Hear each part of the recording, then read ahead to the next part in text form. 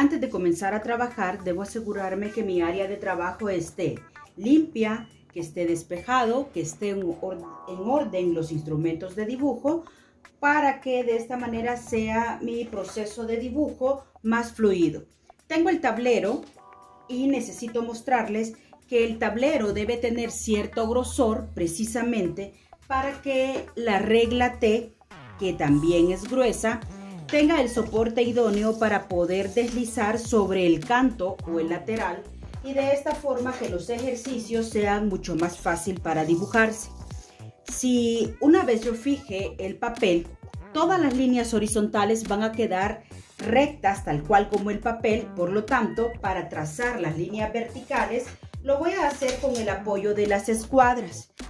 La regla T es uno de los instrumentos bases para comenzar con este desarrollo. ¿A qué me refiero? Que la regla T siempre voy a necesitar estarla sosteniendo. Y esa es la ventaja porque solamente voy a medir una vez, trazo las líneas, mido una vez ya sea en la parte eh, superior o en el lateral. No tengo que repetir medidas porque ya todo va a estar a escuadra. La regla T se va a manejar o se va a manipular con su mano no dominante. En este caso, si usted traza con la izquierda, la, la, manipulación de la regla T va a ser sobre el lado derecho con su mano derecha. Esta es la mano no dominante, en este sentido. En mi caso, yo soy derecha, entonces la cabeza de la regla T la voy a estar colocando al lado izquierdo y voy a trazar con mi mano derecha, pero la manipulación va a ser con la mano izquierda. Cuando decimos que la mano dominante es con la que se traza, sin embargo, la mano izquierda, en mi caso, va a jugar un papel importante porque precisamente me va a ayudar a sostener. Entonces, aseguro que la regla T no esté en mala posición, sino que esté en buena posición para que deslice. Por eso les decía que hacer esto no funciona porque no sabemos si estos tableros están a escuadra.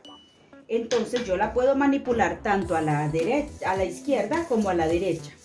Y este es el juego que voy a estar haciendo. Si, la, si subo la regla T, debo asegurarme que esté en buena posición. Yo no voy a permitir que haga esto, sino que voy a hacer esto siempre fijándome de que esté correctamente ay, es que aquí que voy a trazar.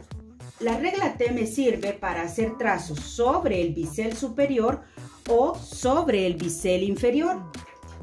Cuando usted quiere hacer esto, está bien, porque va a trazar verticales. Es exactamente lo mismo. Va a depender del ejercicio que se esté desarrollando y como usted se sienta más cómodo. ¿Por qué solicito que el, área de trabajo esté libre? Precisamente porque si yo tengo un lapicero, tengo otros elementos y no estoy consciente de que están en este lugar, cuando agarre la regla T ya no me va a funcionar y no la voy a levantar, sino que la regla T debe estar correctamente ubicada en buena posición, por lo tanto, tener otras cosas no me ayudan porque va a hacer que se esté moviendo y mis líneas horizontales no van a ser paralelas. Por eso em, no es un ritual, pero casi que antes de comenzar a trabajar, ordeno el área de trabajo, ubico los elementos, limpio los instrumentos, aseguro que no haya nada y en este caso lo que hice fue para mi comodidad es que cambié, le Normalmente los tableros traen unas pestañas que son como de algodón. Yo les he puesto unos topes, les voy a, aquí les dejo la fotografía, son unos topes eh, de hule que me ayudan a tener unos milímetros de más, es decir, va a estar levantado, precisamente para que el grosor de la cabeza de la, cabeza de la regla T se pueda desplazar sin ningún problema. Dicho esto, comienzo a fijar la página porque la página va a estar fija con respecto a la regla T. Tengo la página cuando la corté Voy a tener cuidado de no doblarla, no, no ensuciarla y comienzo a ubicar. Ya tengo los cuatro tirros. Busque por favor un tirro que funcione. Yo últimamente estoy utilizando este tirro de color. Y si se dan cuenta, aunque yo estoy platicando, la presión de la regla T siempre está sobre la mano izquierda. Hice esto, primero coloqué la regla T, luego ubico la página, hago este movimiento para escuchar que no se ha ido hacia abajo, es decir, que la página no me va a quedar torcida. Con esta sección de la mano estoy sosteniendo la regla T, eso ya lo dije en otro video, pero lo repito para que recordemos que los primeros videos son clave porque si usted se acostumbra a usar correctamente los instrumentos, su trabajo va a ir fluyendo. Sí, la tengo sostenida y ubico los tirros en las esquinas. Les comentaba que estoy utilizando tirro de color porque los tirros convencionales se están despegando muy rápido. Inclusive, este tirro de color ya no lo estoy poniendo sobre la ropa, sino que lo estoy cortando y colocando directamente al papel. Cuando lo, voy a quitar, lo hago con mucho, con mucho cuidado para que no se me vaya a dañar. Ahora, como ya tengo la página fija, comienzo a establecer el margen perimetral. El margen perimetral es de un centímetro y acá está donde nos comenzamos a ahorrar el tiempo. Yo previamente ya afilé la mina ya le saqué punta, lo limpié, después de sacarle punta siempre lo limpio sobre el trapo y tengo mi escalímetro, voy a utilizar inicialmente la escala 1 en 100 donde están los centímetros y para establecer el margen perimetral solamente establezco una marca, esta marca es una marca sutil. Ay, yo no voy a hacer una marca, un palo, un, chicote. No, es una marca sutil que solamente usted la va a poder percibir.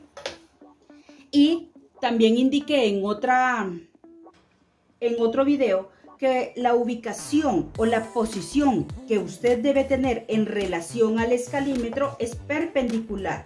Es decir, que casi que me voy a acercar y voy a estar encima de la medida. ¿Para qué? Para asegurar que la dimensión sea exacta, sea precisa.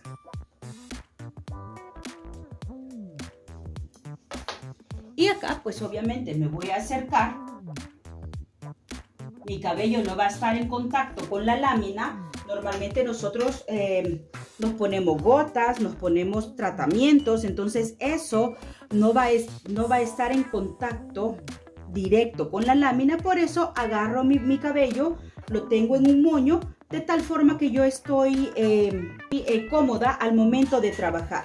Si tengo muchas pulseras, si tengo muchos anillos, asegúrense que estén completamente limpios y si les afecta, pues entonces eh, quítenselo únicamente para el momento en el que desarrolla las láminas. Y ahora comienzo a trazar. ¿Qué voy a trazar? El margen perimetral. El trazo debe ser sutil, yo lo voy a hacer un tanto fuerte para que se logre percibir en el video. Y aquí es donde me estoy ahorrando el tiempo. No tengo que medir dos veces. Y tampoco mi línea está saliendo de los de la página. Mi trazo está dentro de la página. ¿Por qué? ¿Qué, es lo que quiero hacer? Un margen perimetral. Las líneas no las voy a dejar cortadas, por lo tanto, si yo agarro una, una escuadra muy pequeña, no me va a funcionar por eso necesito una escuadra que tenga la longitud necesaria para poder desarrollar los trazos completos. Giro el cuerpo, mi dorso se gira para adoptar una posición cómoda. Estoy girando, ya sea que esté de pie o esté sentada. Y de esta manera realizo el trazo. Me quedaron cruzadas las líneas, para eso tengo borrador de detalle.